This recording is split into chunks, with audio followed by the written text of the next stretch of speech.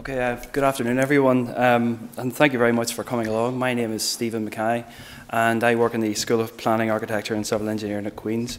I'm here to speak to you for a few minutes uh, about the planning enforcement system.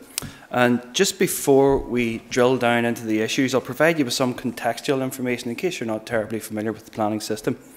Really, with the, with the devolution of powers back on the, on the 1st of April 2015, we, we moved into what I suppose you could call a new planning paradigm and that in that context, it's really essential that we have a framework that is fit for purpose.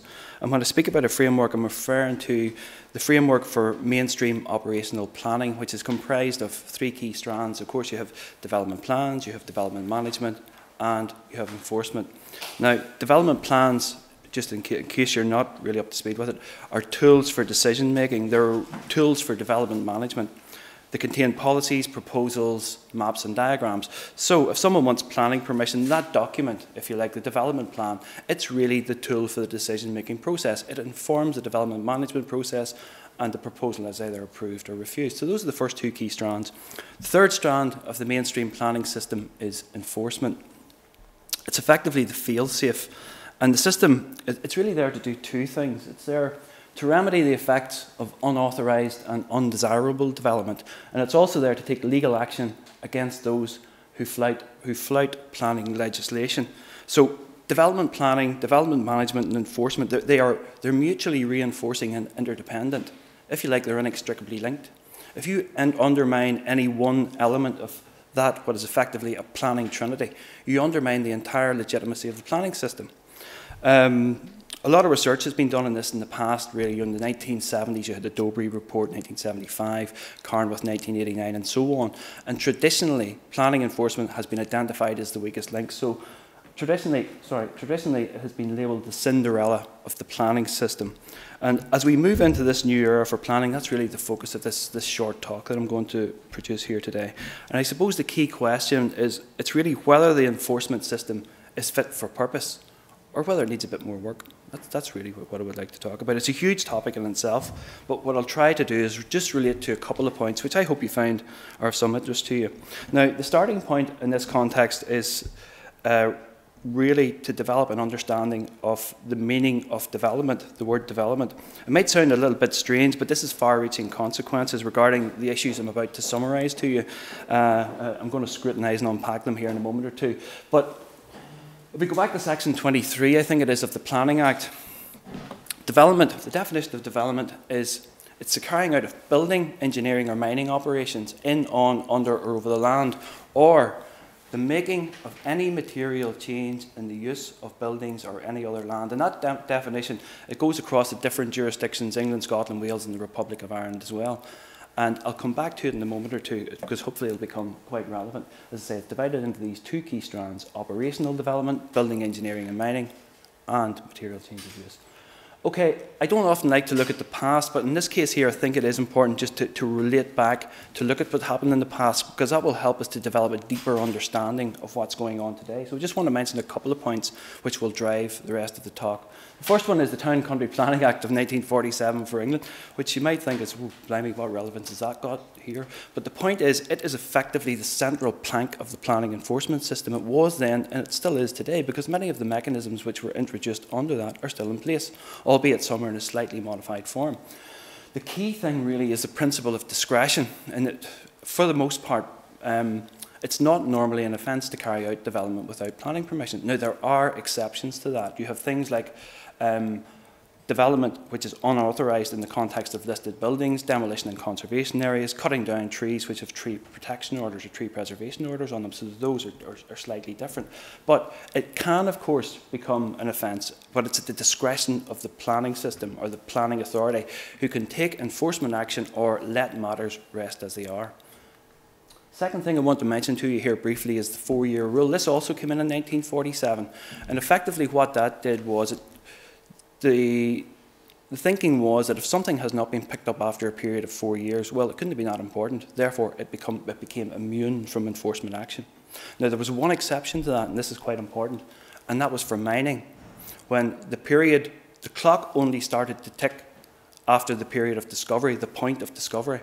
Okay? And of course, we, we might learn something from that.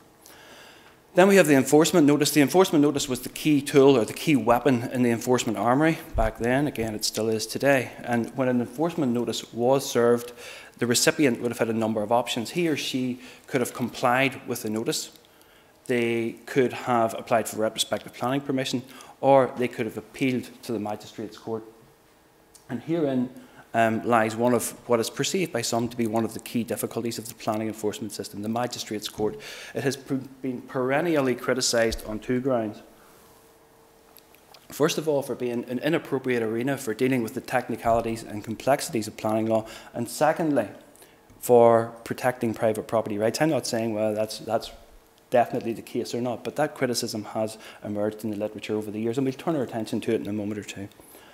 Final point I want to make here in terms of setting this up is really between 1947 and 1990, changes to the planning enforcement system were much more systematic rather than radical. But there was one thing that happened in 1968 in England with the 1968 Town Country Planning Act, and that was that they had picked up that this definition of development wasn't really working. The four-year rule wasn't working. And that's because they identified the difference between operational development and material change of use. With regard to operational development, it's usually a building or something. You can see it on the ground. It's easy to spot. Not so with necessarily with material change of use, because that could take place within a building. It could take place very subtly, uh, almost by. they could almost become immune by default, and it would not be picked up. It's notoriously difficult to spot. So what they did was they brought in this differential between the two, and that was really formalised properly in 1990 in England under the 1990 Town and Country Planning Act and subsequently the Planning and Compensation Act of 1991. And what they did at that time was they said, okay, for operational development, which you can spot, we'll have a four-year rule, but for material change of use, with one exception, which was change of use to a residential dwelling, we're going to have a 10-year rule. Okay, give us more time to pick up on things. So that's the way it stood. And that was then transposed to Scotland, well, it applied to Wales as well, and of course Scotland. And of course, with most planning legislation, it's imported piecemeal across the Irish Sea, albeit at a later date. So we had a four year rule and 10 year rule, which I think were introduced under the Planning Amendment Order 2003. So that's the way it stood. Okay, let's turn our attention. I mentioned the magistrates' court was seen as being, has been seen by some as being problematic. So if we look at a couple of cases here uh, in this particular jurisdiction, this is one we go back to 2010. Okay, it was in the middle of the crisis. Um, and it was the demolition of a B1 listed building at Piney Ridge on Malone Road, as, as you know, very lucrative land.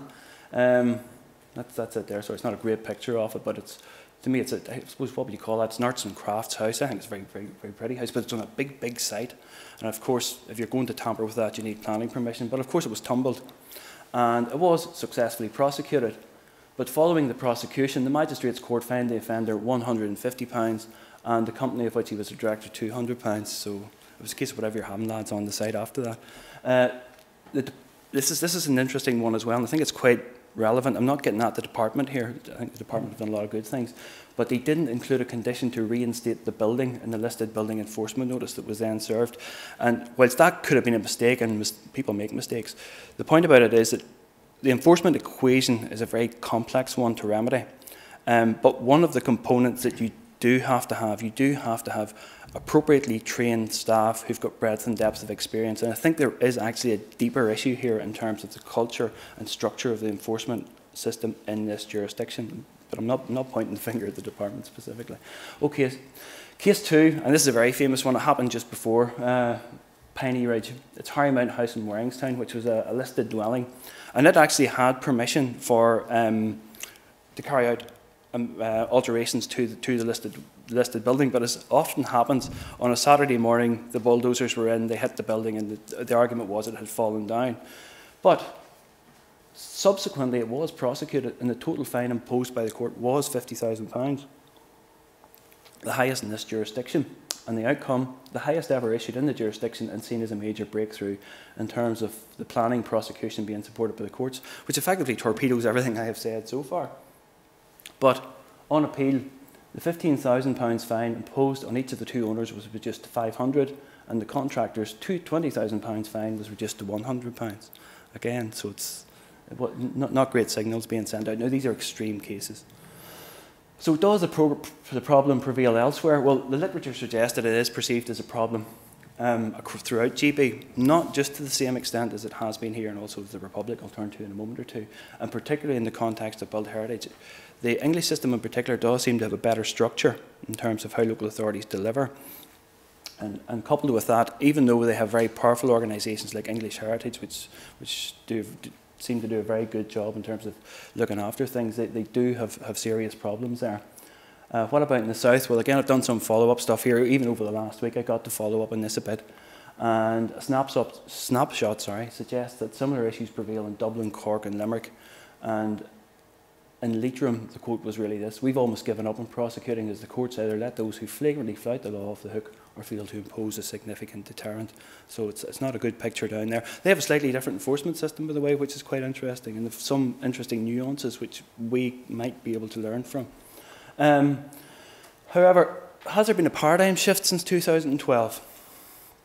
Um, what I'm saying here is if you start to look at a couple of cases, okay, we have £30,000 uh, fine issued for non-compliance with two enforcement notices, one for unauthorised operational development and the other for material change of use. Similarly, in the 6th of June 2012, £20,000 imposed uh, for non-compliance with planning enforcement notice sought for demolition of an authorised dwelling in Lisburn. Okay, so those are, those are, it looks as if, well, okay, maybe there has been a change in culture, a change in thinking by the Magistrates Court. Now, the rationale for the change. At that time there, I think it's quite important to remember, Alex Attwood was the Minister for the Environment, and he took a very proactive interest in enforcement, specifically built heritage. So we had a conference and we had a number of seminars. I, I attended a few of the seminars, and they were really good. And at that time, new sentencing guidance was issued to the Magistrates Court. Whether there's a connect there or not, I'm not 100% sure, but the minimum fine threshold then moved to £5,000. Um, so, I've been, again, initial discussions here, I haven't any money to do anything more in this here, but there is a perception of leniency. Um, if we take this one here again, this was round about the same time. And another listed building demolition, this is the before, the before and this is the after. Okay, and again, the fine was £5,000. A lot of £5,000 minimum fines being issued. It would have taken more than £5,000 to tumble it, never mind take away the, the, the rubble afterwards. So again, very much question marks are emerging over the magistrates court. Um, so at this point in time, fines issued to major offenders still perceived to be a problem. I've been talking to a lot of enforcement officers, and early evidence suggests that generally the super councils, there may be, not through their own not wanting to, but having to put enforcement onto the back burner. So many other things are going on at the moment. Again, it's we need more work on that. Quite interesting here. Again, I've been uh, torpedoing the poor magistrates court, but and this is a development which took place in England in 2014, and they have actually come up with a specialised planning court to deal with the technicalities and complexities of planning law contained within the High Court. And appeals may also, in certain circumstances, be proceed directly to the Supreme Court. Again, premature to evaluate how good that is, but there are some very positive messages coming back at the moment. It seems to have, have effective, more effective. But again, whether or not we could have something like that here, I think a big question mark would be over to maybe 50 million people as opposed to maybe 1.6 million people. So they have the critical mass over there to, to maybe to justify something like that. Anyway, finish off issue two time limitation, which I touched on at the beginning, and we, I mentioned to you that under the Planning Compensation Act and the Amendment Order here in 2003, we moved from a four, to a four-year rule and a 10-year rule. Now, in preparation for this paradigm shift or moving devolution of powers back to, to the government, again, a lot of really good work has been done in terms of researching the existing system as it was there, uh, looking at what's good, what's bad, how can we make it better as we move forward. So we had a huge consultation uh, exercise conducted in uh, 2009. Then the findings from that were fed through into the planning bill, and then we had the Planning Act, which, which was sub subsequently enacted. Now, whenever the planning bill came out in November 2010, uh, the, sorry, the consultation to reform looked at planning enforcement, and it effectively said that, okay, 4 and 10, not, we know there's this problem with time limitation, particularly with material change of use, but as it stands, let it run. Um, the planning bill came out 2010, and the section, relevant section said four years and 10 years. We actually, as Susie was saying, we were actually employed to scrutinise those pieces of information and then to present to the Environment Committee. And we didn't expect anything to happen at all, but whenever the Planning Act came out in 2011, it contained section 132, and section 132 states this. Whether has been a breach of control consisting in the carrying out without permission of building, engineering, mining, or other operations, no enforcement action may be taken after the end of a five year period. So, in other words, the four jumped to five, but this is the one that was of great concern. In the case of any other breach of planning control, no enforcement action may be taken after the end of the period of five years, beginning with the date of the breach. And one thing which is probably quite strange as well is that very often the legislation is not commenced immediately. Most of the leg- almost all of the legislation in the Act was commenced in 2015 whenever the transfer of powers took place. This was commenced almost immediately. There was huge, it wasn't just a huge outcry from community organisations such as Friends of the Earth, but I spoke to a lot of planning enforcement officers who were really, really concerned about it. And they said it became chaos. They were trying to get enforcement notices out the door because a lot of five year changes of use were about to become immune from enforcement action. So, despite this, this was actually brought up at um, a number of the ministerial meetings and the, uh, the seminars, but no satisfactory answer was ever really given as to why this actually occurred. Anyway, notwithstanding, so what? Uh, we're talking about evidence and evidence based policy. So, really, this was all done in the light of a lot of evidence that had been produced again in England so really from the beginning of the millennium, the DCLG, Department for Communities and Local Government, as it was back then, it did a lot of work uh, on time limitation and it came back and it effectively said, well, okay, we need to have at least 15 years for material change of use. And Richard Humphreys, QC, writing in the Journal of Planning Law, again, he's a, he's a big, big hitter in terms of uh, planning enforcement cases. He said that 20 years of the 10 year rule this paper was called 20 Years of the 10 Year Rule Time for Reform, and what he was arguing was not a reduction to a five year immunity period, but a doubling to 20 years. Okay, so it's, it's quite interesting. Um, and then on the back of that, this was all quite an interesting time in planning enforcement history because we had a number of associated issues, and you probably have seen these already, so apologies if you have. The big one is concealment and time limitation. Again, it's one of the big issues in England. Of course, I'm sure you've seen this. This is Robert Fidler's castle. Um, Mr. Fidler built his, his gas castle with battlements, etc., inside this uh, the straw bales and covered it with the tarpaulin. He actually started to build it in 2002, and he lived in it until 2009. And then, of course, he removed the tarpaulin and he applied for uh, a lawful development certificate to regularise it because four years had passed, the clock had been ticking. So this was the, the rule of the court. An enforcement notice may be issued within the period of four years from the date of the breach. Now, Forbes, the judge, stated, In my view, the inspector's findings of fact make it abundantly clear that the erection of the straw bales was an integral, indeed essential part of the operation designed to deceive the LPA, Local Planning Authority.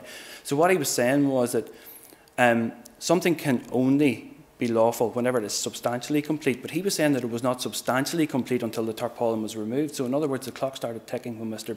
Fidler took the tarpaulin off the bales. Many saw that to be a really, really unsatisfactory decision. Okay, but the key point that wasn't a big deal in itself. The key point here was it was accepted at that time that concealment does not in itself provide a legitimate basis for the council to succeed, as hiding something does Something does not take away the lawful rights that accrue due to the passage of time. In other words, the clock keeps ticking even though you've concealed it. Okay? Um, I think that comes from a 2006 case, uh, FSS versus Arun. But subsequently, really on the back of this, and this was this is the Beesley's new house. What the Beesleys did, they were watching carefully what was going on in the Fidler case, and they got permission for an agricultural building, which is quite easy to do, of course, in England. It's quite close to Welwyn Garden City. Um, this is a luxury dwelling house inside. Okay, so they lived in it until the period had expired, and then they applied for a lawful development certificate, as you do. It's been there four years, it wasn't concealed, you know, so you didn't have to take any tarpaulins away. So therefore, they applied for the LDC. Now, this um, went through all of the processes. It was refused by the planning authority, allowed on appeal, reversed at the High Court. The High Court decision was reversed on appeal, but the Supreme Court set aside the LDC. Okay, and this is the key ruling here. It's called positive deception. The court's opinion was that dismissing the case would damage confidence in the law. I think it's a really good quote. Parliament had not intended such an outcome. Dishonesty must not be crowned with success. I think that comes from a thing called the Connor principle, where uh, someone is not allowed to benefit from his own wrongdoings. I think that's where that was drawn. I'm not quite sure, but I think that's what it is. Anyway, hence, Mr. Fidler's conduct was also subsequently deemed to be a case of deception so the, stop, the draw wheels didn't really matter that much. Okay, and then what England have done again on the 6th of April 2012, they produced the Localism Act, and again maybe we can learn something from this, maybe not. But local authorities are now provided with a six-month window in which to take action against concealed breaches of planning control. Um, the period commences from the date on which a breach is discovered, regardless of whether the discovery was made after the usual immunity period. So we go back to the beginning of this talk here with regard to mining. They had said that because that was particularly difficult to spot, that the clock only started. So that's what they're saying there. Okay, so maybe we can learn something from that. Anyway, going forward, we're moving into this new era of planning where policy making, decision making must be seen to be, be beyond reproach. We've come from a very dark past. Uh, questions still do exist around the development and commencement of immunity legislation. There's still a lot of concerns out there. And if we're to maintain the legitimacy of the planning system, well, maybe we need to, to revisit some of these issues and where appropriate and if we can, try to identify remedies. And just yesterday, um, this is a picture taken of Mr. Fidler's house last week. Uh, he was threatened with imprisonment uh, back about two or three months ago, but he is now in the process of actually beginning to demolish the castle. So this is where it is at the moment. So that concludes my short talk. Thank you all very much.